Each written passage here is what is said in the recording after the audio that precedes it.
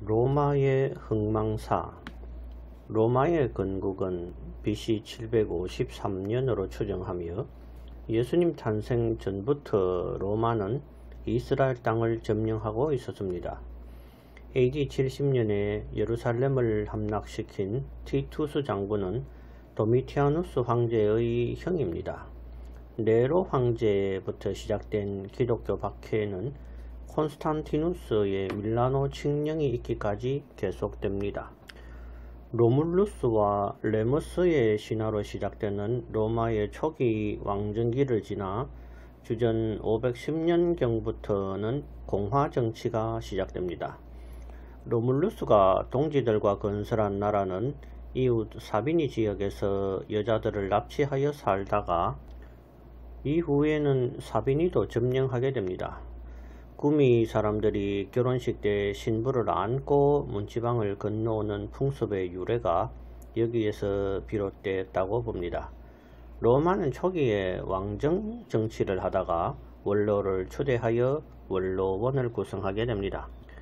7대 왕인 타르키니우스의 폭정에 난 사람들은 다시는 왕을 뽑지 않기로 맹세하고 해마다 두 사람씩 뽑아 집정관이라고 칭하였으며 비상시에는 한 사람을 뽑아 독재관이라고 칭하였습니다. 독재관의 통치기간은 6개월이었습니다.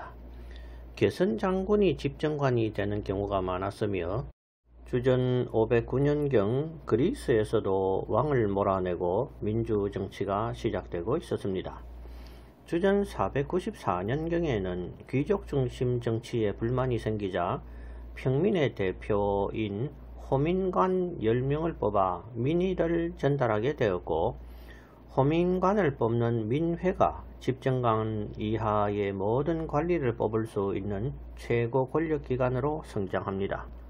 로마는 주전 387년 아일랜드 사람들의 조상인 켈트족에게 처음 패배한 후에 더욱 힘을 기르고 민주정치를 실현하여 평민 출신 섹스투스가 집정관에까지 오르기도 합니다. 로마는 그리스와의 전쟁에서 이기고 이탈리아 반도를 통일하며 1차 포에니 전쟁의 승리로 카르타고를 점령하고 지중해의 패권을 쥐게 됨과 동시에 속주를 건설해 가면서 제국으로 발전해 갑니다. 로마의 집정관 프라미니우스는 켈트인을 굴복시키고 오늘날 프랑스인 갈리아까지 세력을 넓힙니다. 9세기에 스페인으로 도망간 한니발이 18년 뒤에 코끼리를 이끌고 알프스를 넘어 프라미니우스를 격퇴합니다. 하지만 그 후 한니발은 로마로 진군을 미루다가 결국 로마의 스키피오 장군에게 주전 202년 패합니다. 이로써 로마는 지중해의 왕자가 됩니다. 이어서 카르타고와 동맹국이었던 마케도니아, 아테네, 스파르타 등을 흡수합니다. 스키피오는 모함을 받아 망명하였고 100년 뒤에 줄리어스 케사르가 등장하게 됩니다. 주전 2세기경에는 로마는 삼두 정치 시대를 맞는데 폼페이우스, 크라수스, 줄리어스 케사르가 그 주인공입니다. 세 사람은 원로원보다 막강했으며 속주를 각기 다스리는 지사가 되었고 폼페이우스는 스페인, 크라수스는 시리아, 케사르는 갈리아의 지사가 되었습니다. 크라수스가 파르티아의 공격으로 전사하자 원로원은 폼페이우스를 독재의 관으로 삼고 케사르에게 군대를 남겨두고 귀국하라고 종용합니다. 하지만 케사르는 그 유명한 주사위는 던져졌다라는 말을 남기며 로마로 진격해서 원로원을 해산시켰고 애굽으로 피신한 폼페이우스는 애굽인에게 피살당하게 됩니다. 줄리어스 케사르가 주전 47년 애굽을 평정한 후 클레오파트라를 여왕으로 세우고 로마로 개선하자 원로원과 민회는 독재관, 최고 재판관, 검찰관 등의 관직을 케사르에게 줍니다. 하지만 케사르가 선정을 베풀다가 황제의 야욕을 보이자 카시우스와 브루투스는 동지들을 규합하여 주전 44년 3월 15일 원로원에 출석한 케사르를 단검으로 죽입니다.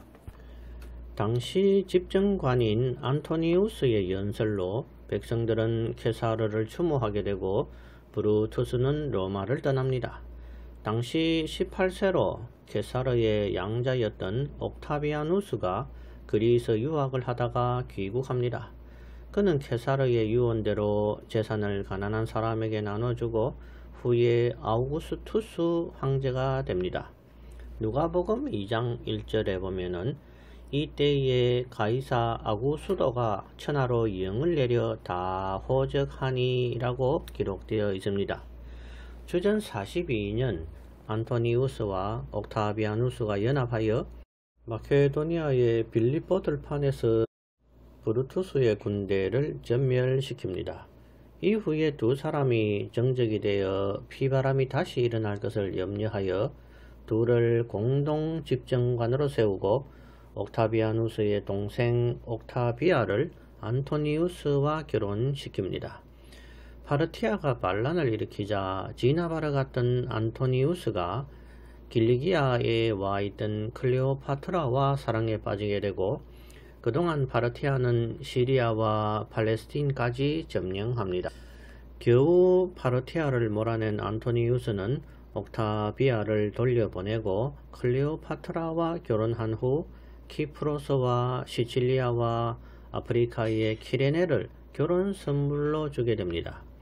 이에 안토니우스는 로마의 정적이 되고 옥타비아누스는 그리스의 악티움 바다에서 주전 31년 9월에 군함 500척으로 클레오파트라의 전함 600척을 이기고 안토니우스와 클레오파트라는 자결을 하게 됩니다. 개선한 옥타비아누스는 원로원 앞에 군대를 반환하고 겸손하게 행동하여 원로원의 사랑을 받았습니다. 주전 29년에 원로원의 1인자라는 칭호를 받고 시민들에게 그를 아우구스투스, 즉 존엄한 사람이라고 부르도록 원로원의 명령이 내려집니다. 원로원을 능숙하게 다룬 그는 옥타비아누스 아우구스투스 황제로 불려지게 되었고 로마는 제국으로 성장합니다. 옥타비아누스는 후계자가 없었기 때문에 케사르 집안의 친척인 티베리우스가 후계자가 됩니다. 누가복음 3장에는 디베리오 가이사가 위에 있은 지 15해 빌라도가 총독으로 헤롯이 갈릴리의 분봉왕으로 빌립이 이두메와 드라고니 지방의 분봉왕으로 하는 기록이 있습니다. 티베리우스 시대에 예수님이 못 박히시고 주전 37년에 가이우스 갈리골라가 뒤를 잇게 됩니다.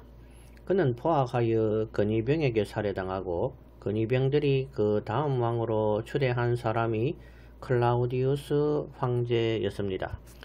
사도행전 11장에는 그 중에 아가보라 하는 사람이 천하에 크게 흉년 들리라 하니 글라우디오 때에 그렇게 되니라. 사도행전 18장에는 글라우디오가 모든 유대인으로 로마를 떠나라 하니 아굴라와 브르스길라가 이달리아를 떠나 바울을 만나게 되었다고 기록되어 있습니다. 클라우디우스의 뒤를 이어 아들 네로가 황제가 되면서 기독교는 본격적인 박해를 받기 시작합니다. 네로는 주후 64년 도시에 불을 놓고 실을 읊으며 모친 아그르피나를 죽이고 또 황후를 독살합니다. 도시에 불을 놓은 방화범으로 기독교인을 지목하여 맹수의 밥으로 삼고 스승 세네카를 죽인 후 원로원 의원들을 차례대로 죽였습니다. AD 67년에 바울이 죽임을 당했으며 스페인의 지사인 갈바가 군대를 이끌고 오자 원로원은 갈바를 왕으로 승인하고 네로는 도망치다가 자살하게 됩니다. AD 69년 한 해 동안에 갈바, 오토, 비테리우스가 차례대로 황제가 되고 후에 유대의 주둔군 사령관이었던 티투스의 아버지 베스파시아누스가 황제에 오르게 됩니다. 그는 AD 70년 사로잡은 유대인들을 시켜 원형 경기장 콜로세움을 착공하여 10년 후 티투스 왕 때 완성하게 됩니다. 티투스 황제가 갑자기 죽자 그의 아우 도미티아누스가 황위에 오릅니다. 그는 당시 에베소에서 시무하던 사도 요한을 밧모섬으로 유배시킨 사람입니다. 그가 당시 유명한 아그리콜라 장군을 시기하여 추방하자 근위대 장군이 도미티아누스 황제를 암살합니다.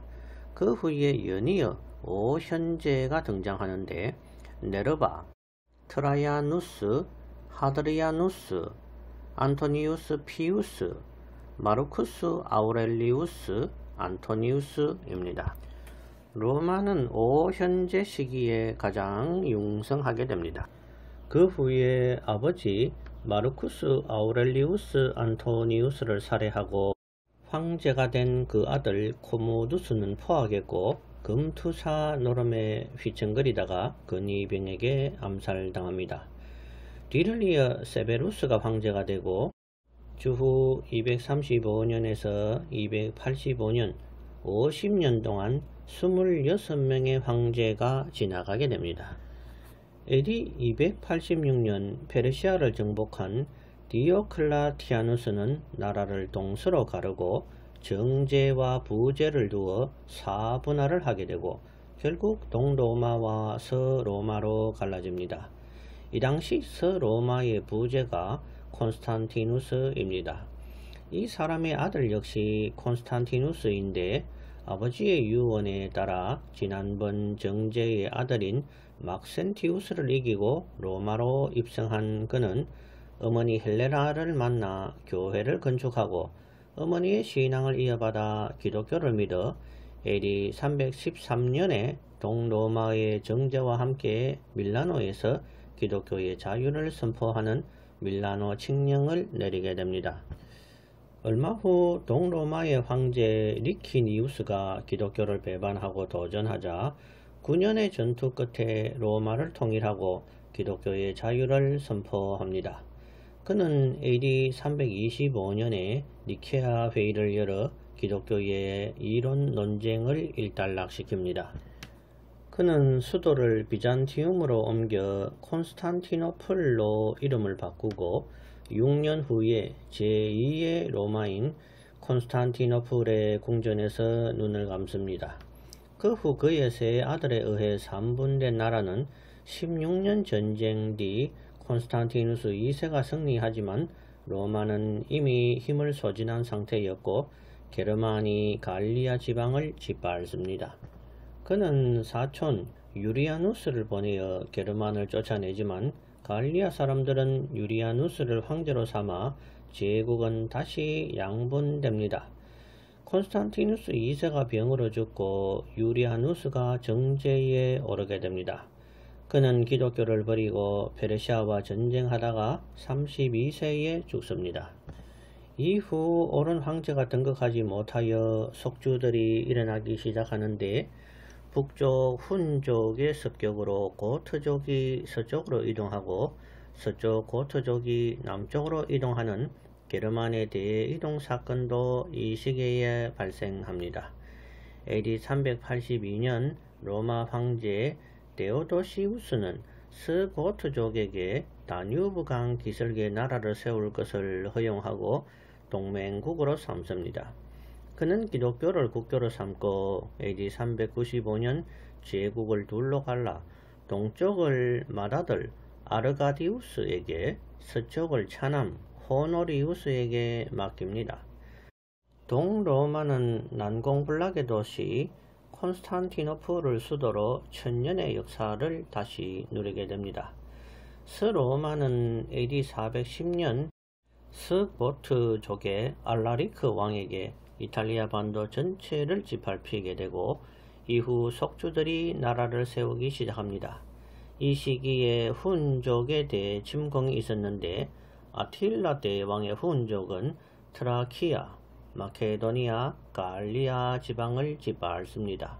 서로마 최후의 명장 아에티우스는 고트의 여러 부족과 동맹을 맺고 아틸라 대왕의 50만 대군과 샤론 평야에서 맞붙게 됩니다. AD 451년 7월 하룻밤에 30만의 사상자를 내고 서로마 최후의 반짝이는 성전을 가집니다. 그 후 AD 453년 아틸라 대왕의 죽음으로 후은족은 흩어집니다. 바렌티아누스 3세 황제는 아예티우스 장군을 죽이고 바렌티아누스 3세 황제는 고트 출신의 병사에게 또 죽임을 당합니다. 이듬해 고트의 반달왕 가이세리크는 로마로 진격하여 황후와 공주를 포로로 잡아갑니다. AD 476년 게르만의 용병 대장인 오도아케르가 마지막 황제 로물루스 아우구스투스를 제위에서 끌어내리고 오도아케르 왕국을 만들므로 서로마 제국은 사라지게 됩니다. 로마는 로물루스의 건국 이후 멸망까지 주전 753년에서 주후 476년까지 세계 역사의 한 페이지를 장식했습니다.